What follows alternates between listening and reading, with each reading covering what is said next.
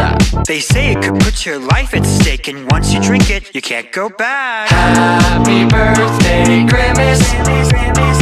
What is on your